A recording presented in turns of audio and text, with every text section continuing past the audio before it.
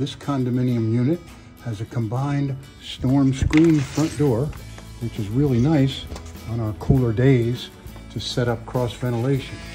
As you can see upon entering this unit, how comfortably it is furnished. This is a little, little desk that the owner has put here. Really nice for doing shopping lists and keeping track of things, maybe even a little computer work. Go into the kitchen, right? Lots of cabinets, even though this isn't a very big unit. All the appliances you want built in, comes with a toaster, comes completely equipped with sandwich makers and all the dishes and linens you would want. The dining area, the table is set up with only four chairs, but easily it will take a leaf and seat six, even eight if you have to. Looking at the living room from the other angle,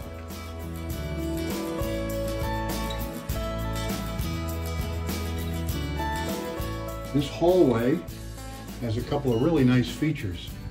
That is a big storage closet.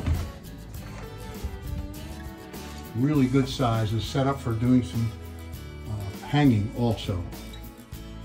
Coming around to the other side, the right hand side of this closet has the air conditioning air handler and then more storage.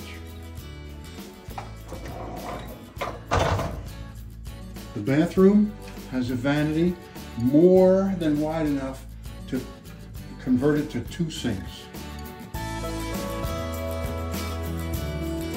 Little shower room, all right, tiled all the way to the ceiling, which is nice, protects the drywall. Got a seat, always good for us as we get a little older.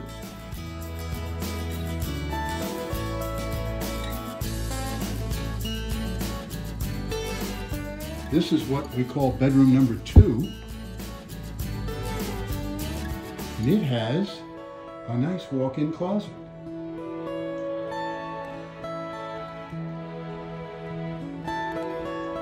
Of course, sliding glass door out to the lanai. Back into what this lady uses as her master bedroom. Another big walk-in closet. So with the storage closets and the walk-in closets, you've got a lot of storage in this unit. It's got a really nice, uh, actually this is a Florida room with the windows rather than a lanai, but they can all be open, wide open. And guess what? Another storeroom. This would normally be used for your outside furniture,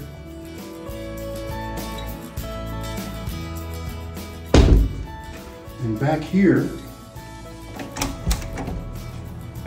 we've got a nice paver patio. That, by the way, is the clubhouse. And there's the swimming pool off to the left. So very convenient location. Real close to the clubhouse.